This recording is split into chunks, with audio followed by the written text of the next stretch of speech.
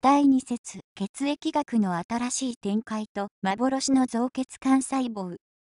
造血の問題が新しい展開を見せ始めたのは1961年にカナダの学者であるティルト・マック・カラフが放射線障害マウスの実験を行ってからです。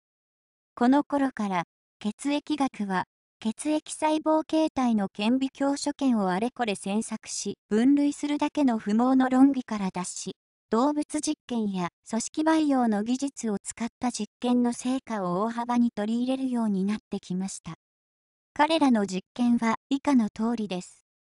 マウス、動物実験用のハツカネズミに致死量の放射線を浴びせると、マウスは造血臓器を障害されて死亡します。しかし、致死量の放射線を浴びたマウスでも、他のマウスの骨髄細胞を注射する操作すなわち骨髄移植を行うと、生き延びるようになります。この骨髄移植によって生き延びたマウスを解剖してみると、脾臓に血液細胞の塊コロニーができているのが見つかりました。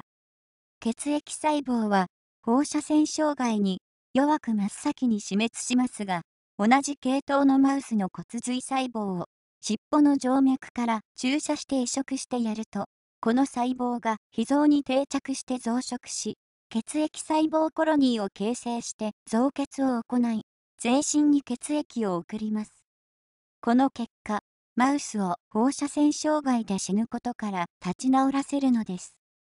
この1個のコロニーは赤血球、白血球、血小板というすべての系統の血液細胞を含み、しかも、染色体分析という方法により、1個のコロニーは、1個の細胞に由来することが証明されました。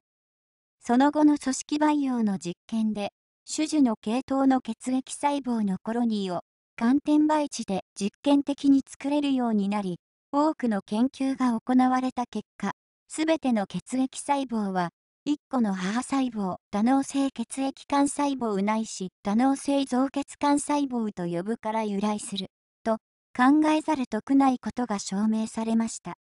ところが、動物実験や組織培養実験では存在が証明されたはずの骨髄の造血幹細胞は、現実の骨髄の中では、形態学的にはなかなか確定することができませんでした。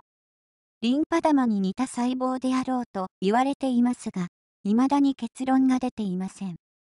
現在でも、骨髄の造血管細胞は形態学的に証明できない幻の細胞のままであるのに、これらの実験結果から、造血臓器は骨髄であるとの学説は確立されたかのように考えられています。